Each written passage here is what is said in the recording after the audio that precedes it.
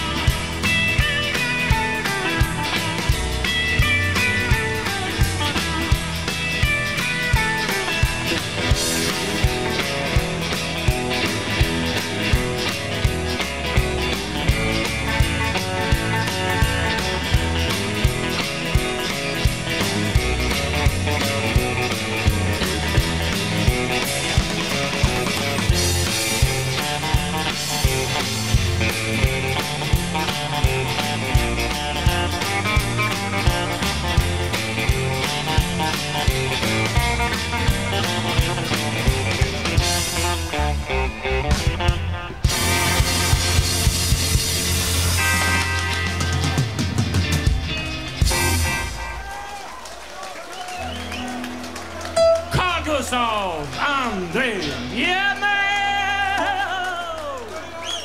Nu ska vi spela en eh, sån här liten annan, annorlunda